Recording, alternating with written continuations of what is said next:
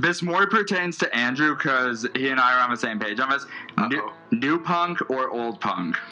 Well, it depends on the way you put it, really, because like old, Oh, that's like I don't know, man. Sex Pistols. Well, yeah, but like, man, it's come a long way in the past few years. Pop, fiddler, Exactly. vanilla, like the scene right now is really on fire, especially for Toronto. So it depends on which scenes you're talking. Because like, I don't know, I like the evolution right now. It comes, it's come a long way since four chord punk with the Ramones. So I'd have to say new.